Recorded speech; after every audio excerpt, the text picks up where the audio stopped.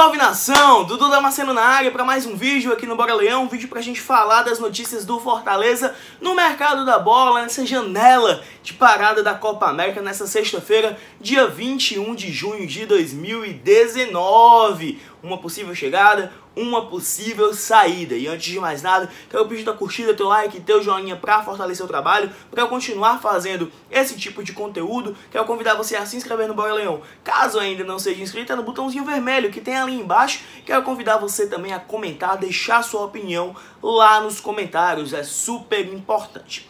Antes de mais nada, quero lembrar também, bicho, que eu sempre falo antes de mais nada, né? Mas enfim, não vou trazer qualquer especulação que aparecer em grupos de WhatsApp, grupos de Facebook, que a torcida estiver comentando. Não, vou trazer informações que eu apurar ou que algum grande veículo de comunicação aqui do nosso estado, né, o Povo, Diário do Nordeste, ou alguns jornalistas que também têm muita credibilidade por aqui, trazer, né, para apurar direitinho, para saber o que é verdade ou não, tranquilo? Nesse vídeo eu vou falar de uma possível chegada de um meio campista, finalmente camisa 10, será? E de uma possível saída de um zagueiro do Fortaleza. As duas notícias já adianto que é do Diário do Nordeste, beleza? Começando com a possível saída, o zagueiro Patrick pode estar deixando o Fortaleza rumo ao Guarani de Campinas, né? Jogar a Série B pelo Guarani, pelo Bugre, Patrick que chegou no finalzinho do ano passado, né? Foi anunciado no final do ano passado, vindo do Oeste, fez uma belíssima Série B pelo Oeste, né? Foi muito bem contra a gente, inclusive, naquela partida lá em Barueri. Chegou aqui, foi titular na sua primeira partida do ano, né? Contra o Náutico,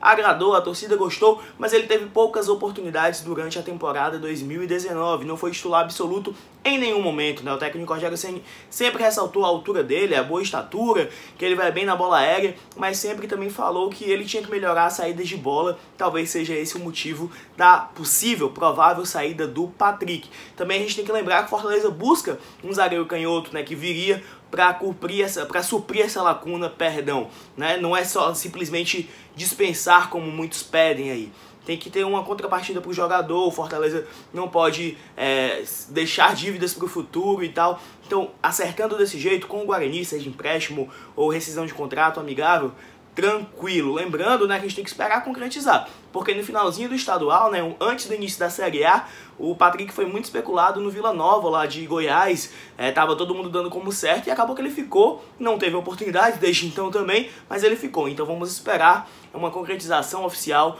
e eu trago essa informação para você quando ela acontecer, se ela acontecer de fato a segunda notícia desse giro de notícias do mercado da bola, né? Tô sendo repetitivo hoje, mas é finalmente aí o camisa 10, parece que surgiu um nome e é Eduardo, jogador revelado pelo Fortaleza, que está atualmente no Braga de Portugal. Outra informação do Diário do Nordeste, o nome do Eduardo é um que está sendo ventilado desde o início do ano, né?